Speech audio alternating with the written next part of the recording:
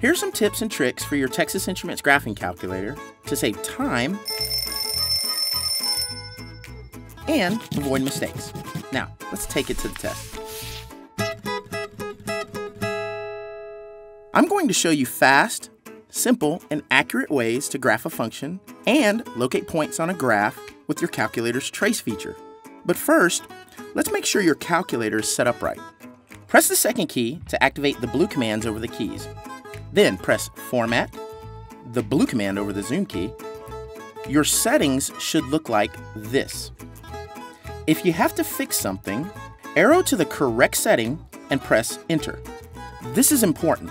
These settings make it a lot easier to read your graphs. Now, for our next trick, we will set the boundary values for the X and Y axes. This is called setting the window. Press the window key. For standardized tests, it's best to start with values of negative 10 to 10 for both axes. If something doesn't look right, you can set the values manually here. Or hit zoom and select Z standard to restore the standard window settings. Now, let's get an example of something you might see on the test. Let's graph a single function, y equals 2x minus 4. Start with the y equal key, then press 2x minus 4. Now, graph the function by pressing graph. This is what your graph should look like. Now, let's find a point on that graph using the trace feature. Press the trace key. That sets the cursor at the middle of the x values. Notice we see the values for x and y. You can right or left arrow to move along the function.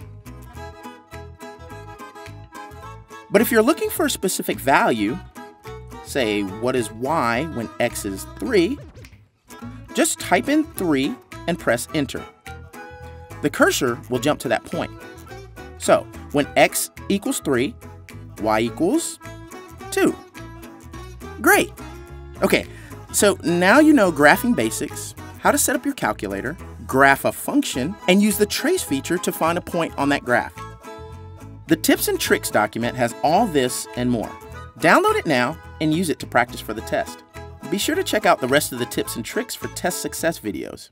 And hey, good luck on that exam.